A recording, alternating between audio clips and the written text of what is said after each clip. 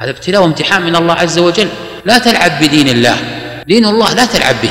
ولذلك يمكن للإنسان أنه مثل ما يقال يضع رأسه في كل شيء. من يضع رأسه في كل شيء؟ أو ربما يأتي بأشياء مخالفة. مثل ما يقولون خالف تعرف. وهذه ترى موجودة في اللغة العربية.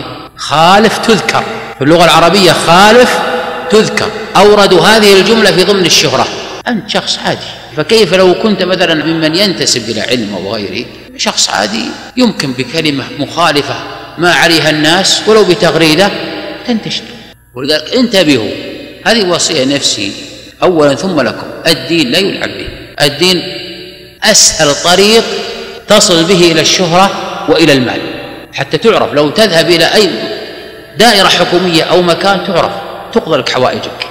لكن انتبه. الدين هذا لا يلعب به أبدا. ولذلك لما لعب به في هذا الزمن كان أناس في العلوم فأسقطهم الله في الدنيا قبل الآخرة. وهذه سنة الله عز وجل. ولذلك يعني كم من شخص ادعى النبوة من بعد النبي صلى الله عليه وسلم إلى الآن؟ كثر. فضحهم الله. لما؟ لأن أي شيء يمس شرع الله. لأنه قال إنا نحن نزلنا الذكر وإنا له لحافظون. أي شيء يمس شرع الله يسقط. انتبه الدين لا تلعب به.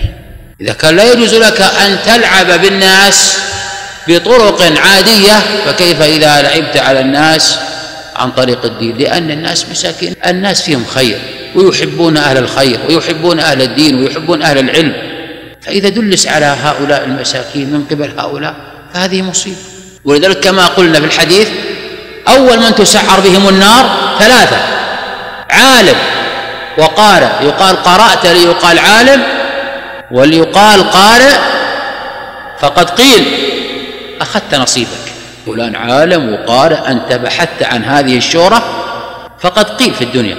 لكن أين المصير؟ ثم سحب به إلى النار. لكن إن كان من الصنف الآخر الطيب العالم كما قال النبي صلى الله عليه وآله وسلم العلماء يتقدمهم معاذ بن جبل رتوة بحجر يوم القيامة. مثل ما ترمي رمية بحجر يكون هو إمام العلماء يوم القيامة والعلماء إذا بهم يكرمون يوم القيامة. انتبه.